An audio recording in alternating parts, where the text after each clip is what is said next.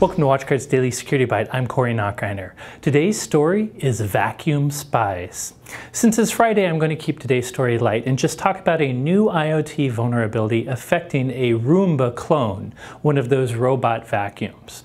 The particular vacuum, uh, which model name I'm not going to try to pronounce, you can see it here, but I'll probably murder that pronunciation, is basically a clone of a Roomba that comes from a Chinese manufacturer. It looks very similar to a Roomba, but it's known for having a 360 degree uh, video camera that can also be used for surveillance as well.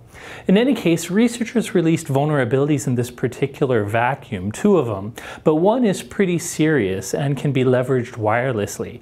Basically, if a bad guy can figure out the MAC address or UID of your vacuum, they might be able to send a single packet to gain full root control of the vacuum. That is if you're using the default password of admin with a lot of eights for the password.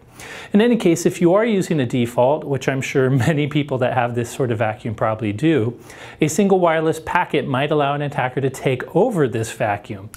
And of course, that means these bad guys now have a remote control robot that can do 360 degree video surveillance on your house, which is probably not something anybody really wants.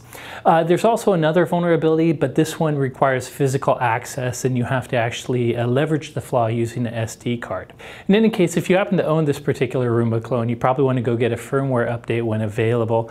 That said, this is just more to point out uh, the class of vulnerabilities which affect all these type of IoT devices, which many of us buy on websites like Amazon all the time. The cheaper these devices are, the more chance they probably have this sort of security vulnerability because the manufacturers may not pay as much attention as they should to secure design. So as you buy new IoT devices, consider the attack surface they add to your office or your home, and when possible, use your firewall and other security mechanisms to protect them.